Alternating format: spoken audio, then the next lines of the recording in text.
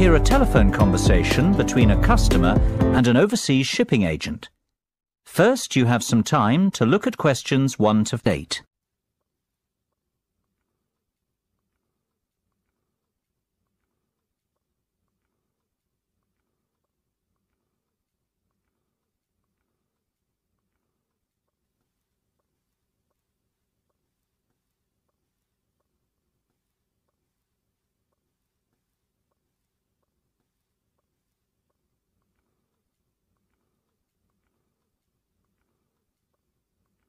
You should answer the questions as you listen, because you will not hear the recording a second time.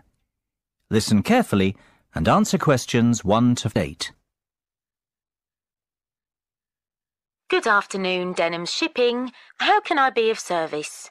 Well, I wish to inquire about sending a container of personal items from the UK to Ireland. No problem. Would you like me to give you an estimate of the cost? Yes, please.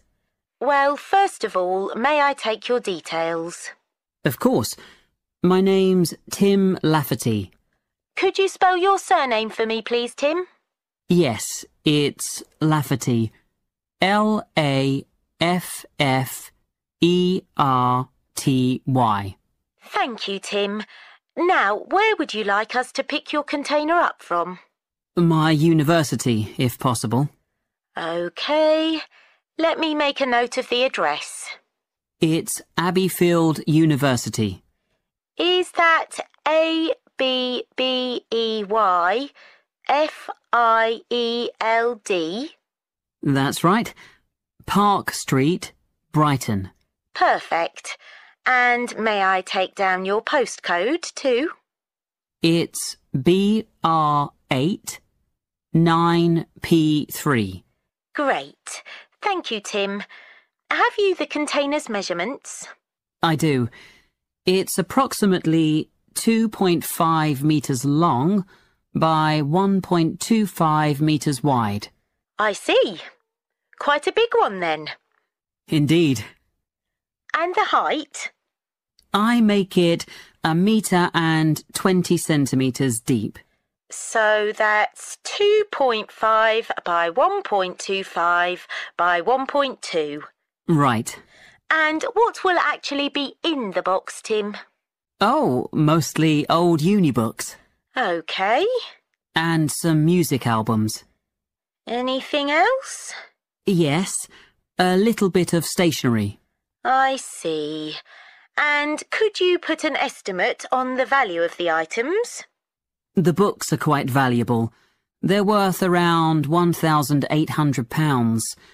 The music albums, maybe half that, say £900. And you can put the stationery down as £300. Before listening to the rest of the conversation, you have some time to look at questions 9 and 10.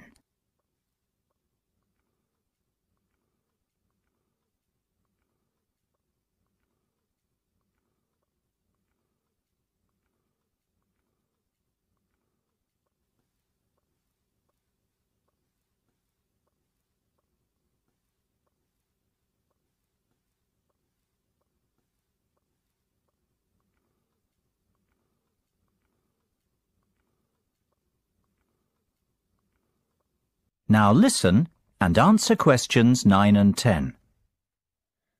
OK. And will you be purchasing contents cover from us also?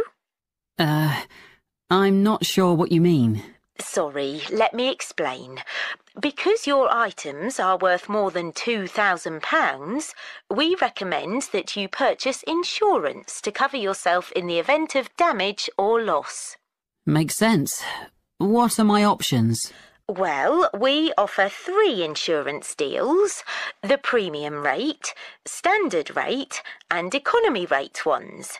Premium offers full cover in the event of loss, damage, or theft, which means you would be provided with the full cost of replacing your belongings.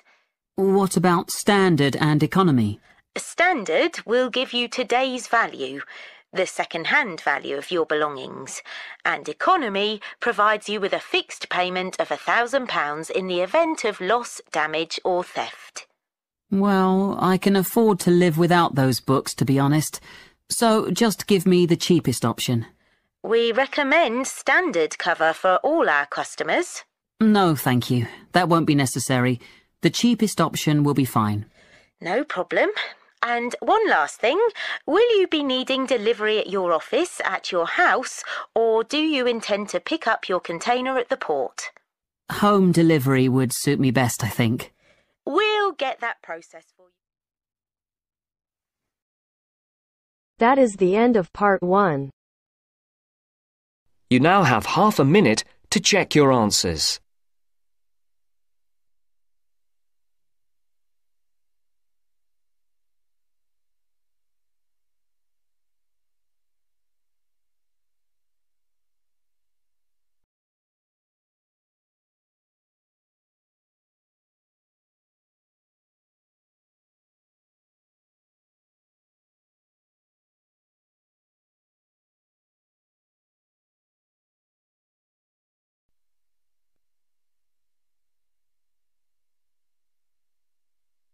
Now turns to part two.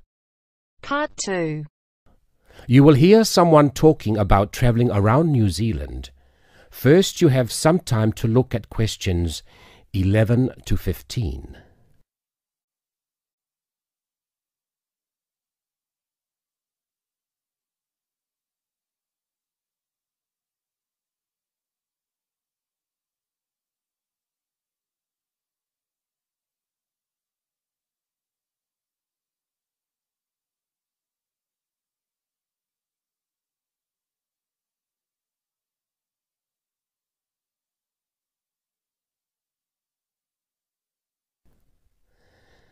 Now listen and answer questions 11 to 15.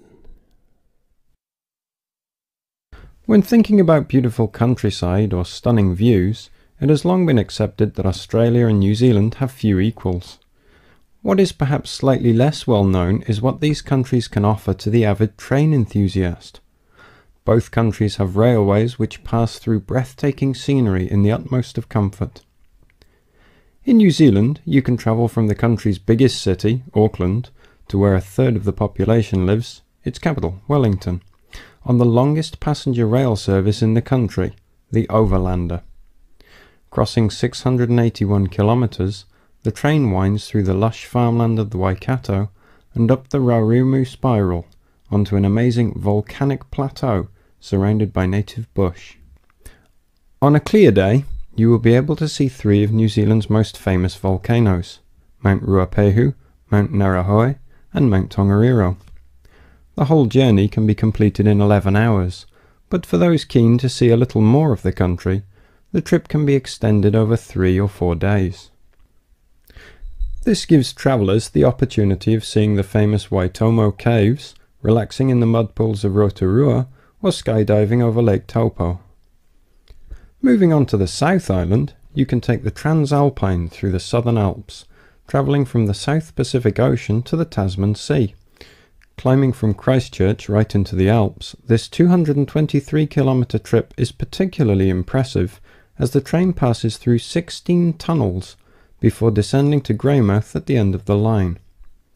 Taking only five hours, this is a relatively short trip, but it is worth noting that this journey has been listed as the sixth most scenic rail route in the world. For those that are not so keen on mountains, the South Island has a second option, the Transcoastal. With the sea on one side and the mountains on the other, it again shows some of the best scenery New Zealand has to offer. Also taking five hours, one of the highlights of this journey is the opportunities for whale watching. The fortunate few that see whales are well rewarded, but there are more common sights which are just as enjoyable, such as penguins and seals.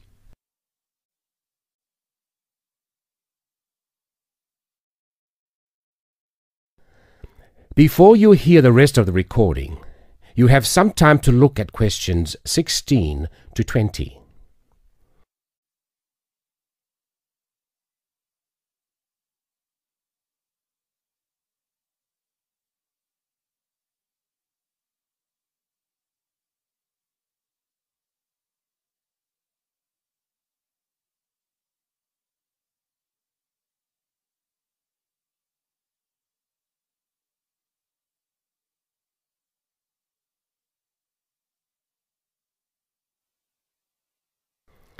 Now listen and answer questions 16 to 20. Although these three train journeys are undeniably breathtaking, some travellers prefer the longer journeys on offer in Australia. The Indian Pacific, for example, which travels from Sydney through to Perth and has been dubbed the adventure that spans Australia. With three nights on board, the train takes in the Blue Mountains and the Nullarbor Plains, and, as the name implies, the Indian Pacific shows you two oceans. This train journey holds two world records. Covering 4,352 kilometres, it is one of the world's longest train journeys. It also travels the world's longest straight stretch of railway track, 478 kilometres. For those who find these distances a little daunting, passengers can stretch their legs at a number of different stops, such as Kalgoorlie, famous for gold, and Broken Hill, first founded as a silver mine. If three days on board a train seems a little excessive, there are alternatives. The Ghan, for example, which travels from Adelaide in the south to Alice Springs in the centre of the continent, taking 20 hours. Passing through Crystal Brook, Port Augusta and Woomera, this journey gives an indication of what life was like for the earlier settlers as they discovered the country. Along the way, you can also see the Iron Man sculpture, which was constructed by railway workers to commemorate the one millionth concrete sleeper laid during the construction of the line. Finally, just a quick word about the Overland, which runs between Melbourne and Adelaide. As the first train to travel between the capitals of two states, it is a historic as well as relaxing way to travel, and is famous for being the oldest long-distance train journey on the continent. With so many memorable journeys to choose from, the only problem you will have is knowing which one to do first. That is the end of part two. You now have half a minute to check your answers.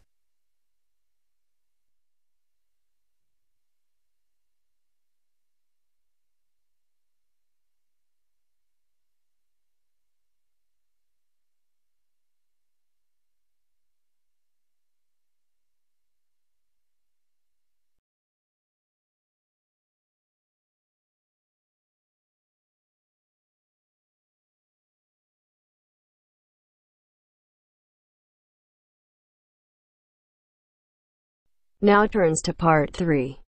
Part 3.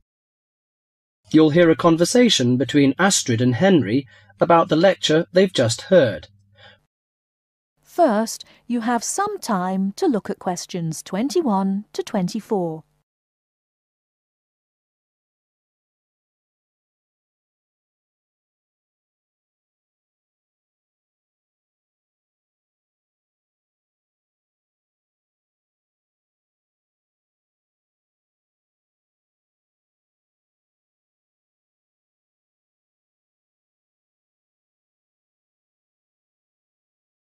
Now, listen carefully and answer questions 21 to 24. Henry, don't you think Dr. Adams' lecture was really very good? He could talk about the telephone directory and make it interesting. All his lectures are like that, Astrid. He's just one of those people. I wish we had him as our tutor. I bet you that he is very demanding, though.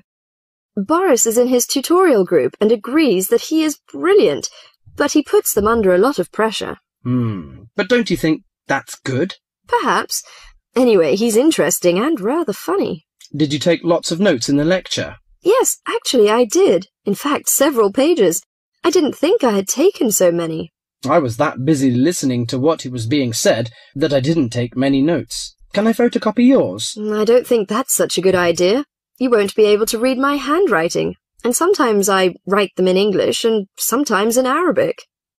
Oh, let's have a look. Wow, your notes are so neat. Well, there's not much in Arabic. There is on this page. yes, there is. Dr. Adams would be pleased to see this, especially given what he's talking about.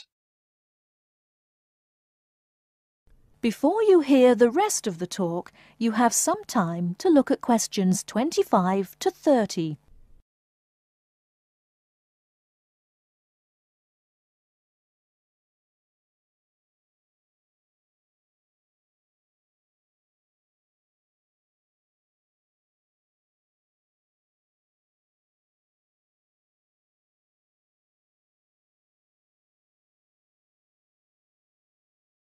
Now listen and answer questions 25 to 30. Don't you keep careful notes? Mm, sometimes. It depends on the lecture. I don't think I'll forget Adams's lecture today, but some of the details will fade. I type up everything afterwards, so you can have a copy then, and you can fill in anything I've missed. I'm not so good on the broader concepts. I'm better when it comes to detail. Just what Adams was talking about. Well, I am definitely a detail person. I need to have everything written down before I can get the concepts clear in my head. And I am the complete opposite. I find all the detail clutters up my mind, and I get very frustrated, which was just what he was on about. He mentioned a book he had written. He mentioned several. The one on space and the individual. Yes, called My Space. It's on the book list. Hmm, so it is. I think I'll get that out of the library, or get my own copy. Did you get what he said about spatial awareness? I didn't really. Yes, it was fascinating. I can't be as eloquent as Adams was, but I know several people who are frighteningly intelligent, but they have difficulty reading simple directions, even when getting to places that they know very well. I find that difficult to understand. Everyone learns the way to walk to the shops and things like that. You mean just the way people learn spelling? You know, people misspell words, make mistakes in countless areas of their lives, and going in the right direction is just the same. Remember what Adam said about the number of people who cannot tell left from right, north from south, and so on? Do you know which way is north? Um, it's that way. you see, I couldn't have told you that. Really? I haven't a clue which way is which. That's why I'm always getting lost when I go out on my bike. And put me in a completely new place and I am totally lost. What about maps? Oh, I'm hopeless at reading them. But then you're brilliant at writing essays and getting all the ideas down in the right order, and I don't know where to start. Again, just what Adams was talking about. What we need to do is combine our skills. You teach me to cope with detail, and I'll teach you how to string concepts together. Okay, we can do that. That is the end of part three. You now have half a minute to check your answers.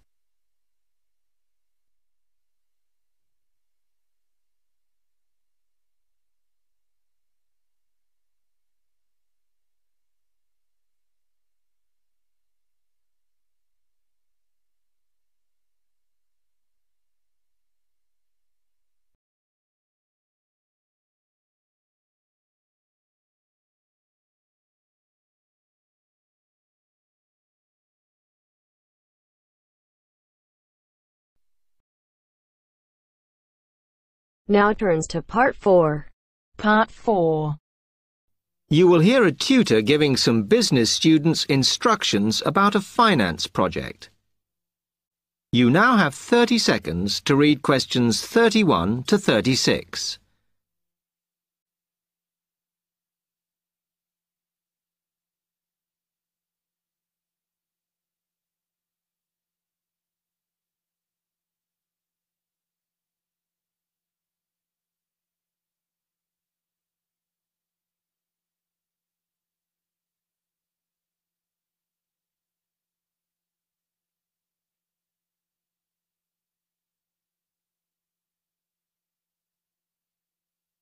Okay, can you quieten down, please? Now, today I'm going to talk to you about your assignment. We've been studying the effects of the exchange rate, so I'm going to give you a project to do on this. Right, can you make some notes while I'm talking?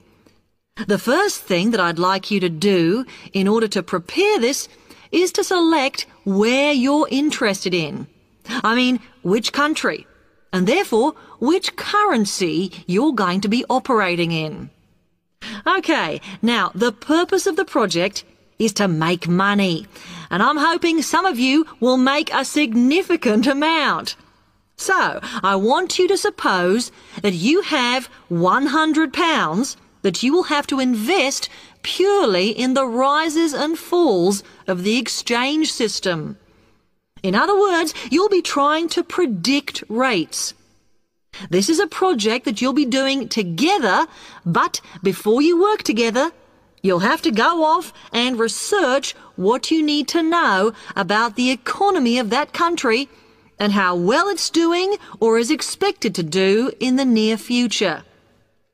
You could all make up a little information sheet with your notes on, clearly legible, because then I want you to get together, we can do that next week, and to go round and read about each other's countries. When you see how well or badly each country is doing, I want you to decide what your exchange rate is going to be against all the other currencies. After that is all sorted, what you're going to do is go round the other students and attempt to sell your money to the others. Remember, this will depend on the success of your country's economy and the rate you fixed for your currency. Now, you're not allowed to just swap currencies with each other, but you may wish to buy from the other countries. But you must do a proper transaction. All the way through this, you must keep your accounts properly for each transaction. I'll give you one week to do this, and then we will set a time for the deals to finish, a bit like the stock exchange. And at that point, I will ask you to calculate how much you have made. Is that clear? You now have 30 seconds to read questions 37 to 40.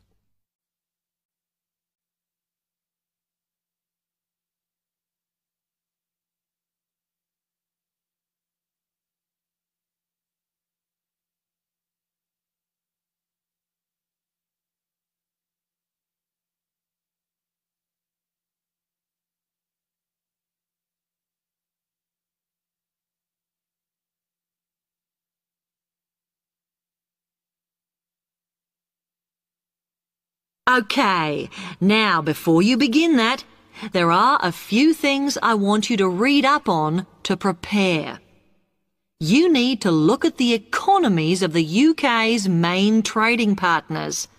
I don't mean all of them, because that would be over 80, but just the 29 principal ones. There are summaries in the last three books on the book list I've given you.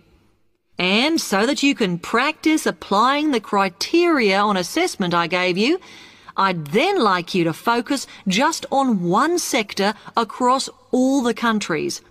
The most common one across every country is farming. But as much agricultural produce is for domestic consumption, I'd like you to look at manufacturing. Then I would like you to do a detailed investigation of one particular aspect. I was going to give you a choice, but I think as we've just started the course, it's better if we all look at the same thing and then we can discuss it in the seminars. So the thing I'd like you all to look at is fluctuations in import prices.